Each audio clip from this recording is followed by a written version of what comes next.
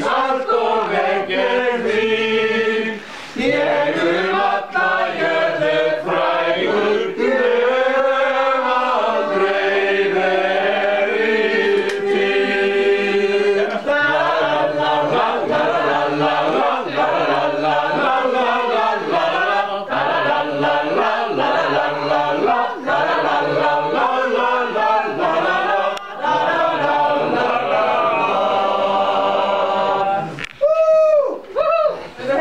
¿Me vas a tomar el vaso?